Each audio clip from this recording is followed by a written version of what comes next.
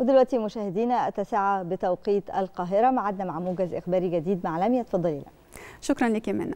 التاسعة صباحا بتوقيت القاهرة السابعة بتوقيت جرينتش موجز الأخبار من التلفزيون المصري. أهلا بكم.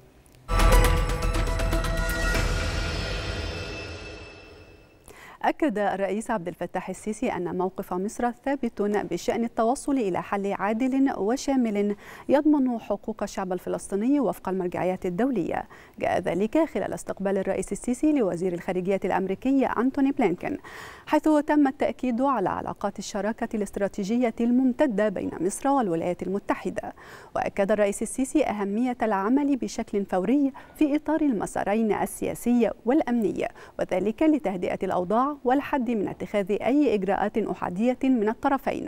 من جانبه أكد بلينكين أنه في إطار العلاقات الاستراتيجية بين البلدين الصديقين فإن واشنطن تعول على التنسيق الحثيث مع مصر بقيادة الرئيس السيسي لاستعادة الاستقرار وتحقيق التهدئة واحتواء الوضع بين الجانبين الفلسطيني والإسرائيلي.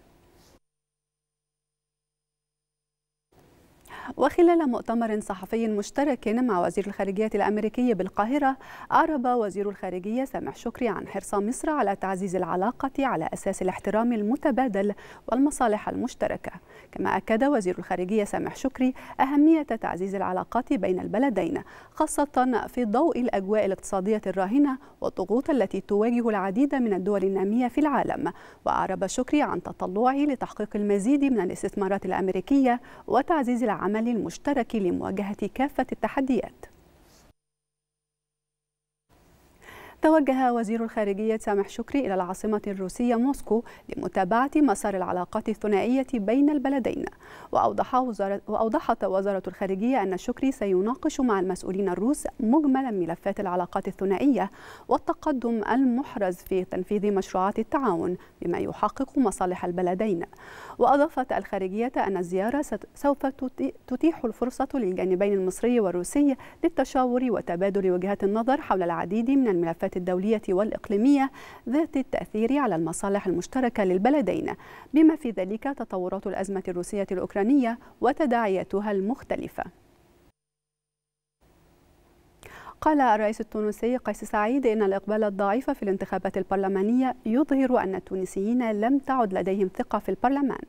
وأضاف سعيد خلال لقائه مع رئيسة الوزراء نجلاء مودن أن البرلمان كان خلال العقد الماضي مؤسسة تعبث بالدولة وكان دولة داخل الدولة.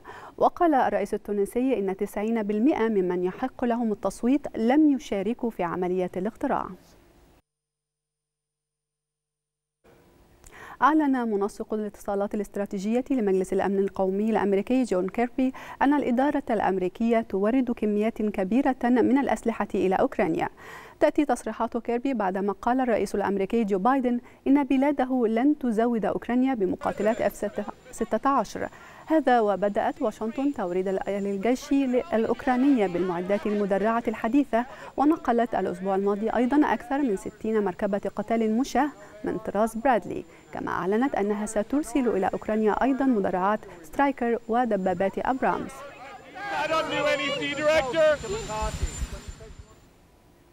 أعلن الرئيس الفرنسي إيمانويل ماكرون أن الأسلحة التي تقدمها الدول الغربية لأوكرانيا يجب ألا تستخدم لاستهداف الأراضي الروسية.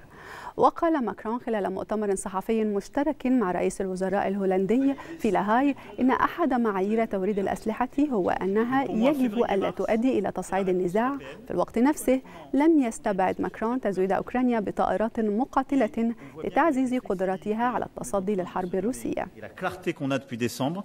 Et des très bonnes discussions que nous avons أكد وزير الدفاع الأمريكي لويد أوستن أن بلاده ملتزمة بشكل صارم بالدفاع عن حلفائها في شرق آسيا ضد التهديدات العسكرية والنووية. وأضاف أوستن خلال مؤتمر صحفي مع وزير الدفاع الكوري الجنوبي أنهم يواجهون استفزازات متزايدة من كوريا الشمالية.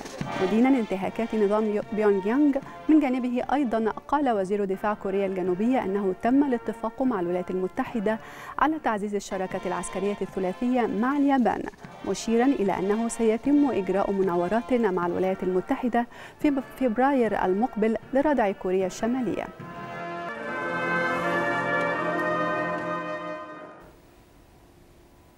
تشهد فرنسا اليوم احتجاجات حاشدة ضد خطة الحكومة الفرنسية برفع سن التقاعد من 62 عاما حاليا إلى 64 عاما.